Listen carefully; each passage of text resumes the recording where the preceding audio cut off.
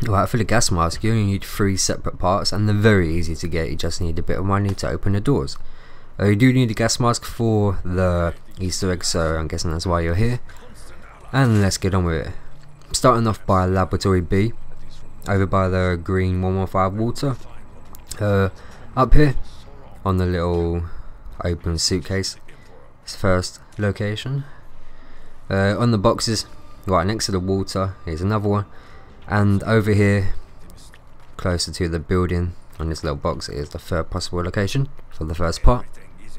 Second part is going to be up by the plane propeller. Uh, up here on the hill by the bit of cloth, it could be hanging. Go through the plane, other side, and on the left, just as you come out, is the second.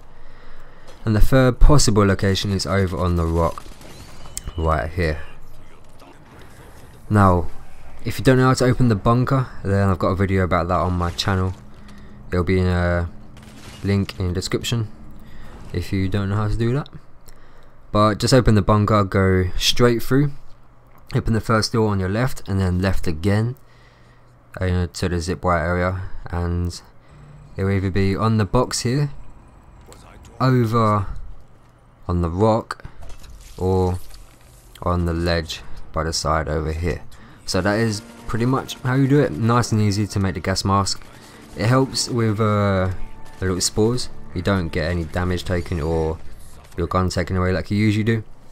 It lasts for about 6 or 7 I think spores so it's pretty decent. It definitely helps out. And I believe it helps you breathe for longer underwater. Not a lot longer, it's about 20 seconds longer but definitely does make a difference. So I hope this guide has helped you and if there's anything else you want to know about the new maps then uh, in the description will be a link to the videos. Nice and easy to find. So I wish you the best of luck in your zombie games. Darling, I will